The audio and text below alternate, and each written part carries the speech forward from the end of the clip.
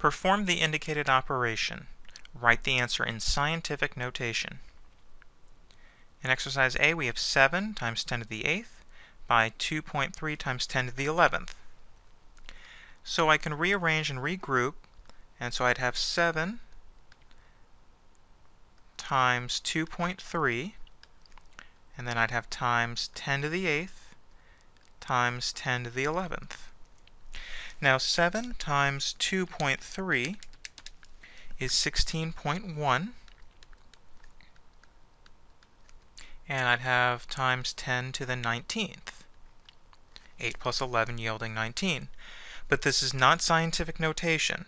So let's rewrite that 1.6, that 16.1, moving the decimal over.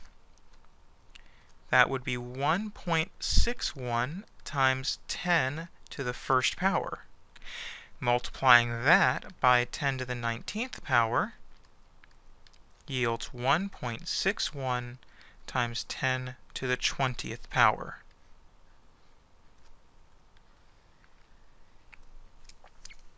Three point six times ten to the ninth, negative ninth, multiplied by two point three times ten to the negative seventh.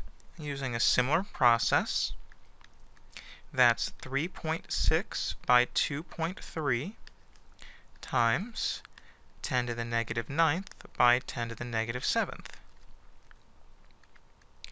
3.6 times 2.3 is 8.28. And let's see, 10 to the negative ninth and times 10 to the negative seventh, adding those exponents, that would be 10 to the negative 16th.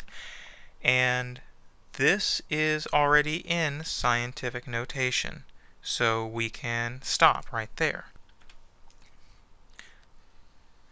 And example C, we have 4.8 times 10 to the 15th divided by 9.5 times 10 to the 7th. So I can break that up into two fractions, 4.8 over 9.5 times 10 to the 15th over 10 to the 7th. Now using a calculator, 4.8 divided by 9.5 gives me approximately 0.505 and then I'd have, using the quotient rule for exponents, times 10 to the 8th.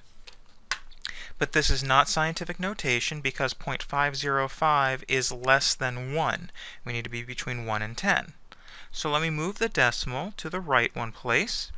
So let's see, that is then 5.05 times 10 to the negative first power.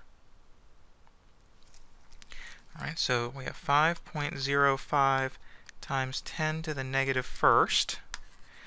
And let's multiply that by 10 to the 8th.